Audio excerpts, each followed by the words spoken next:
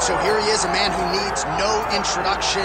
GSP, wildly popular not just in his native Canada, but around the world. Many people, DC, believe, pound for pound, that Georges St. Pierre might be the greatest UFC fighter of all time. He is one of the greatest fighters of all time. If there was an MMA Mount Rushmore, Georges St. Pierre would be on everybody's list of top five fighters of all time. Just an ability to mix everything together. He was truly the evolution of mixed martial arts from the wrestling, the striking to the grappling. He was a guy that did everything and did everything well, and it made the level of mixed martial arts raise because everyone was trying to catch GSP. And I got good news right next to him on that Mount Rushmore. Daniel Cormier. Raise that hand! Come on, John, don't do it. Hall of Famer Georges Rush St. Pierre. He has graced the octagon with his mind set on one thing tonight, that UFC championship belt.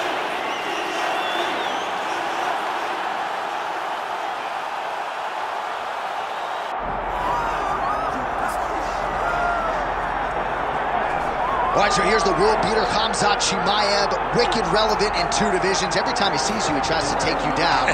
Gotta think he's gonna try to wrestle here tonight. That's exactly what he does, right? He wants to impose himself on his opponents. He wants to show his dominance when he's inside the octagon, whether it's on the ground in the grappling, as we saw in Kevin Holland, or whether it's him striking, as we have seen in the beginning of his UFC career. He has all the skills, but it's the mindset of Khamzat Chimaev that think separates him from most fighters in both weight classes that he competes in. And with respect to Conor McGregor and everybody else, I'm not sure that any athlete has ever taken this sport by storm quite the way Chimaev did back in 2020.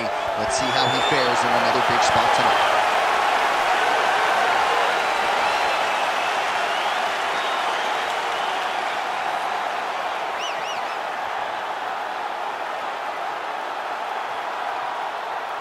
Tale of the tape for this welterweight championship fight. Now to get us started, the veteran voice of the Octagon, Bruce Buffer.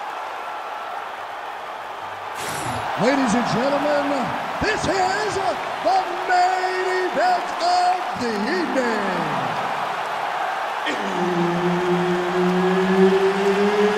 It's time! Five rounds for the undisputed UFC welterweight championship of the world. Introducing first, fighting out of the blue corner, presenting the challenger, Georges Rush St. Pierre. And now, introducing the champion, fighting out of the red corner, presenting the reigning, defending, undisputed UFC welterweight champion of the world, Khamzat Borz Chimaev. All right, Herb Dean, our referee Ready. for this one, just about to get underway. Good. All right, well, there's nothing quite like a Georges St. Pierre fight. I mean, how about the decibels in this building? As my man Joe Rogan might say, it is deafening in here. I can hear the Canadians from the rooftop. Georges St. Pierre's competing tonight, folks. There's no doubt about it. Overhand punch to the head, blocked, though, by Khamzat Chimaev. Oh, nice takedown defense.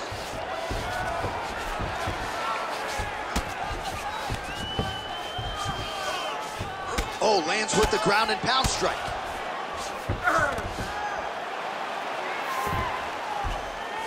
All right, he's got the hooks in, DC, working off of his back. Now look for him to attack the neck of his opponent to try to get the rear choke. Ooh, right into side control, DC. This is where you want to be now because you get to make your opponent decide. They try to turn back into you, you can attack guillotine. If they turn away to try to get to your knees, you throw your hooks in and you got all your rear choke submissions. Well, he's doing a nice job here blocking these shots. The chin is tucked, the hands are high. Pretty good job defensively thus far. Great job defensively. He's seeing everything coming. Oh, nice jab by Chimaev. Oh, he's stuck in the guillotine. That guillotine is tight. Good job by the champ there. Sliding back up. Well, we'll see if he postures up and can get some of his ground strikes going here. Chimaev's in half guard.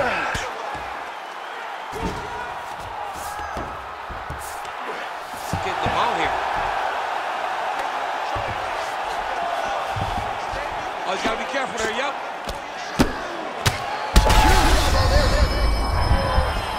Oh, he's got a choke. Oh, look out, folks. That is tight. It looks like it's getting going. Oh, it's got to be tight now. Yep.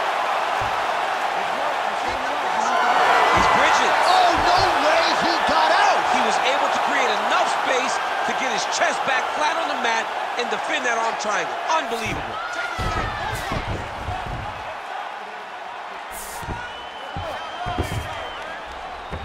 He flattens him out. This could be the beginning of the end. Good work from the top here by Chimaev. Another ground and pound strike lands. All right, so pretty good damage here with the ground and pound. Nothing superficial about these strikes. They are intending to harm. Oh, yeah, he's landing very accurately, and he's landing to get damage off. 30 seconds now to go in the opening round.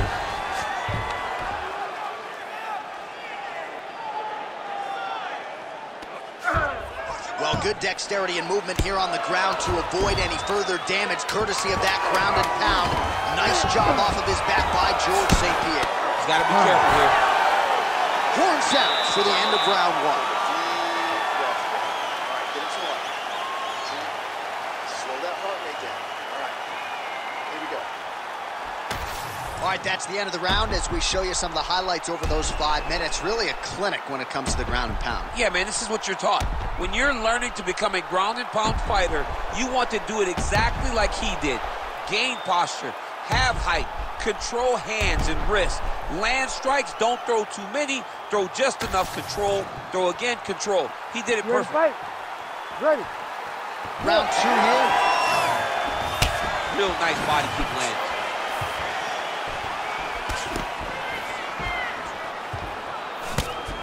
Oh, blocked the shot there and delivers the straight counter. He's had a huge strike right there. I'm not sure how many more of these his opponent can take. Massive shot that he landed. Great job. Oh, Oh, he did a great job of, it. holy smokes. oh, how about the judo toss there? Judo 101. Not a guy you want on top of you. Ground and pound strikes piling up here. Good work by GSP. Trying to pass the guard here, but a nice job by the bottom fighter defensively. Bottom fighter did a fantastic job of following with his hips, making sure he blocked any attempt to get past his guard. In the half guard. There it is. Now he's going to mount. Chimaev getting absolutely worked here from the top. These are some very effective ground and pound strikes. Nice positional control here.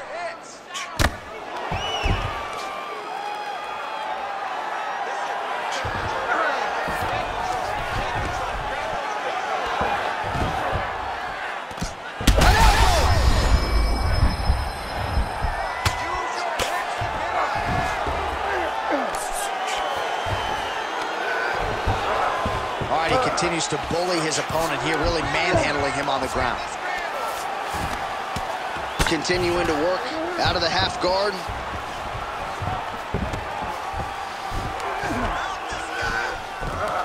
Under two minutes to go in round two. Oh, nice.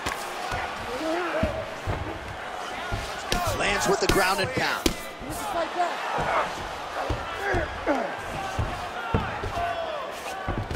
All right, north-south position now. We'll see who transitions first. Well, not ideal to spend this much time on the bottom, but you can't fault him for his activity. Landing strikes here from the bottom. Nice work by Chimaev.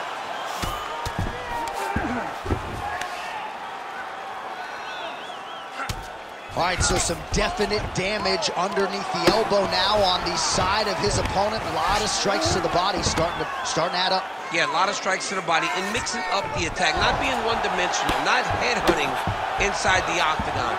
I, I think he has fought beautifully right now, and it's starting to show itself. Ten seconds to go in the round. All right, that's the end of round number two. Stop, stop, stop. It looks like we're tied going into the next round. I need you to take a deep breath and recover. The game plan is going to change. I need you to pick it All right, so for one fighter, the round mercifully comes to an end as we look back at some of the action. What a display of ground and pound. It's his calling card. It's exactly what he's known for. He's known as a brutal ground and pound fighter, and he showed you just then why he's known as that in the MMA sphere. He's the guy that if he gets you down, he will dominate you with positioning and brutal, nasty grounding and pound. Round three of a possible five.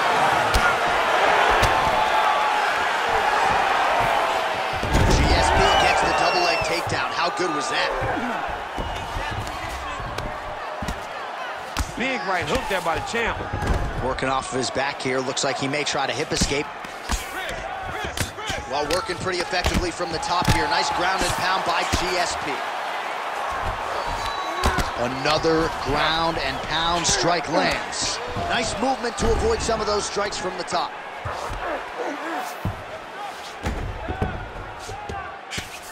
Oh, nice right hand by the champ, yeah.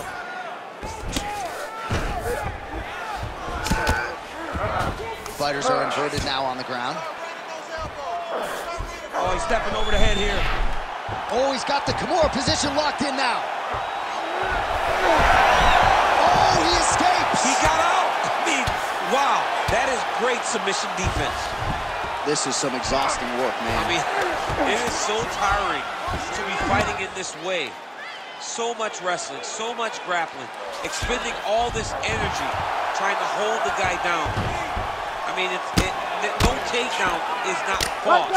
No reversal is not fault. Everything they're doing is fought to the very last minute before it gets given up. So we have crossed the midpoint in this one.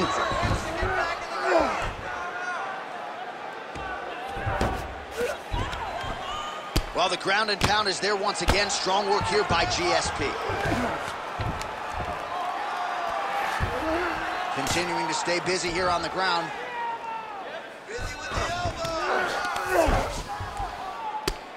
All right, so that opened up a cut around his eye area. He hasn't moved his head well. He was taking shots too clean, and now a cut has opened up. Mm, nice.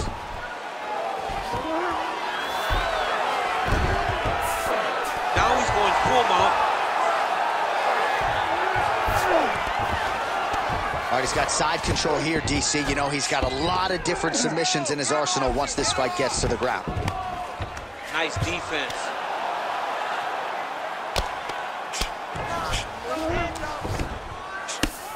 Well, this is exactly what you like to see. Nice combination of ground and pound punches. Outstanding pressure and activity by Georges St. Pierre. All right, north-south position now. We'll see how he chooses to proceed.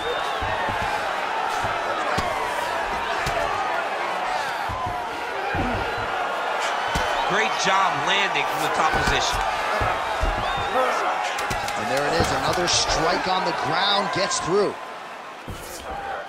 All right, three rounds down, potentially two more to go. We are headed to the championship rounds. All right, take a seat. Listen, your eye is starting to swell up from those jabs. I need you to keep your hands up, okay? Good defense. Keep that head moving. All right, so there's the end of the round. You know, few things more exciting in mixed martial arts than a submission, and he nearly had one there. He almost had it. He had it locked in. He thought the fight was over, but his opponent was able to escape. But the next time, if he goes back to that position, maybe he gets the finish he wants so bad. You ready to fight? Ready. Fourth round, fight scheduled for five five-minute rounds. All right, fourth round is now underway as we get to the championship rounds. What is a fighter's mindset when you get to this 16th minute of the fight? This is when you understand that nothing is ever going to be harder. This is the hardest round in fighting. This is going to really test your will and your desire. Oh, that is a huge shot right there, DC. You don't want to eat too many more of those. No, and he needs to start looking to finish now because he's got his opponent hurt very bad. And busy as he looks to improve position here. Well, he's more than content to work off of his back, DC, where he has been a magician in his UFC career. All right, he's very comfortable fighting off his back, DC. Now looks like he's trying to hip escape. Yeah, he's trying to hip escape or maybe look for a Kimura here.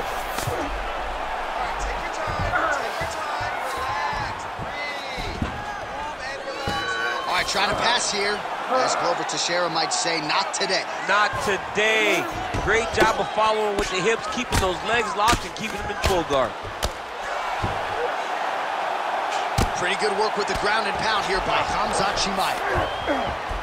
These ground strikes are starting to add up. Chimaev's pass attempt denied. Nice strike from the bottom fighter there.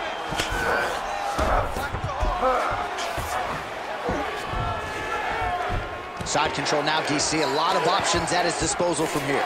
Oh, he's got the knee on the belly. Could be trouble defensively. All right, he's got him in the north-south position here, DC. When you're in this position, however rare it may be, what are you trying to do? Uh, I'm just trying to lay on. I'm just trying to cut air from going to your body. I'm just trying to make you carry my weight. I don't necessarily want to be here. And I don't know if this guy wants to be here right now. He will use this to try to get to the next position. Don't want to be there for more reasons than one. I don't want to be there. I don't want to be there on the bottom. oh, slick reversal right there.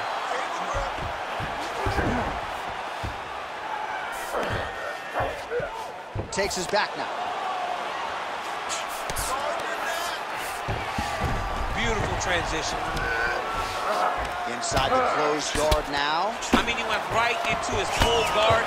What does he do to try to advance himself to give him more of an advantage on the mat?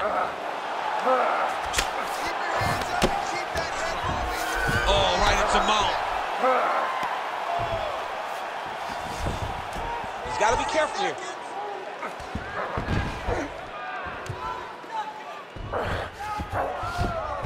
He's having his way with him here. Well, as usual, suffocating work from the top here by Chimaev. Beautiful transition. He flattens him out. This could be trouble. Buzzer sounds for the end of round four.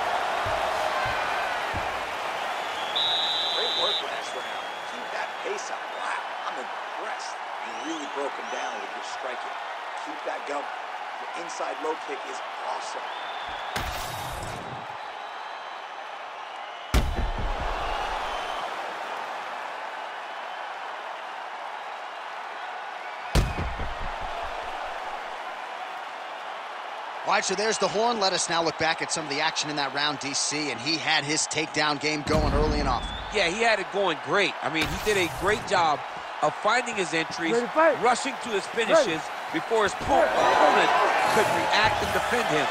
He should be very proud of the work he did over the course of that last round. Almost in range with the straight left, but that's a miss.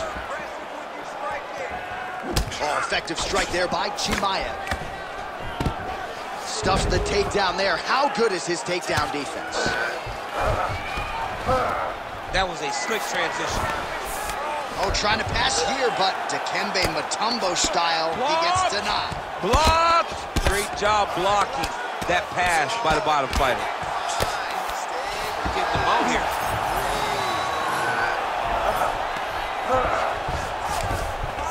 Yes, smart adjustment, yep.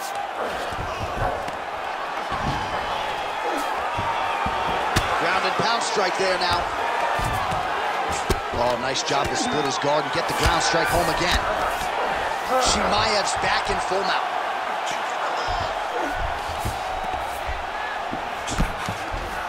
All right, side control now.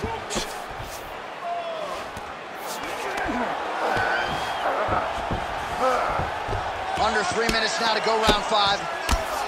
All right, so yet another ground and pound strike lands right there, DC. He's getting very active now that he knows he can land these strikes. In the half guard. Oh, the ground and pound has been on point tonight. Good work here by Khamzat Chimaev. Well, his ground and pound is on full display here tonight. Inside the closed guard. And he's going to try to find ways to pass and move to a submission. Under two minutes now to go in the fight. He passes to half guard. Chimaev ground and pound from half guard now. There it is. Now he's going to mount.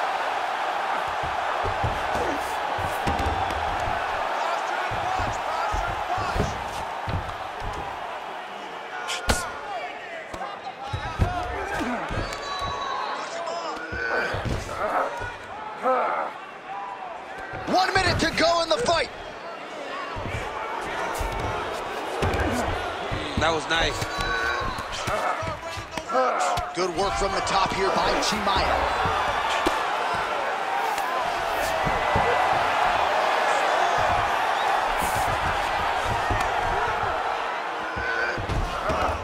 This is where he wants to be. St. Pierre's in half guard now. Oh, man, what a strike from the bottom. The official decision is in. It resides with Bruce Buffer. Ladies and gentlemen, after five rounds, we go to the judges' scorecards for a decision. For the winner by split decision, and new undisputed UFC welterweight champion of the world, Georges Rush St. Pierre.